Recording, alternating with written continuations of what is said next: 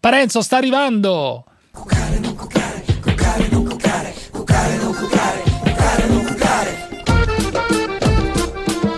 Cucare non cucare, dilemma universale, istinto Eccoci qui, fra poco faremo la collection delle lezioni di seduzione di Davide Vichingo, lezione numero 3. Buonasera Vichingo. Buonasera, Eccoci Ecco, qui. Qui alla Zanzara. Vai. Allora, passiamo subito a una tecnica che fa parte del, del filone rimorchiare con 20 euro. Siamo in tempo di crisi, quindi è anche importante sapere cosa hai in tasca e se ti bastano per poter uscire con una ragazza tranquillamente. Si chiama la tecnica del PR, cioè del, del Public Relation.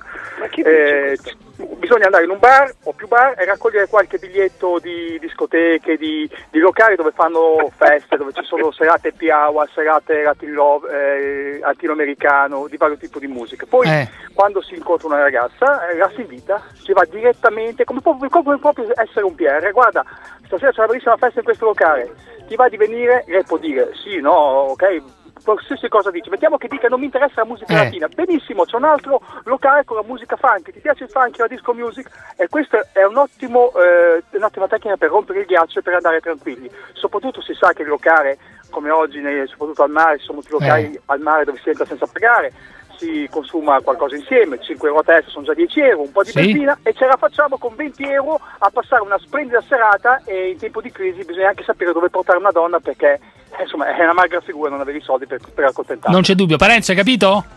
Io ho, ca- ho capito, ho capito che questo, questo signor Davide Vichingo se si presenta così in giro con i suoi curriculum non troverà mai lavoro. Cioè, io lo immagino adesso dopo questa sua performance estiva alla zanzara che va eh, dal signor Crippa ad esempio a Mediaset, bussa, bussa Ma lì. perché da grippa che non c'entra niente? Chi è? Eh, sono il Vichingo. Ah, prego, signor Vichingo. Venga, va da Crippa, da direttore generale di Mediaset dell'informazione.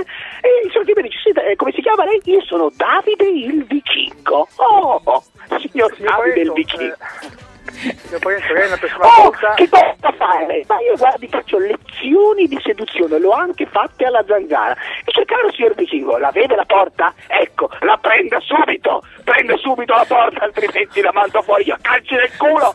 Subito, Vichingo! Ma cosa c'entra Crippa che è il direttore di informazione? ma io fossi in Crippa direi signor Crippa. Dici scusa, un appuntamento con il signor Crippa. E chi è? Davide il Vichingo. Mi aspetta il direttore Crippa. Questo che c'ha mille robe da fare lo riceve, lui. Sì, chi è? Sono il vichingo. E già lì uno no, gli si gira il sangue a uno, sono il vichingo. Arriva e dice, scusi, qual è il suo cu... Q, Q, Q. Grazie Vichingo, a presto questa intemerata di Parenzo. È stato un piacere.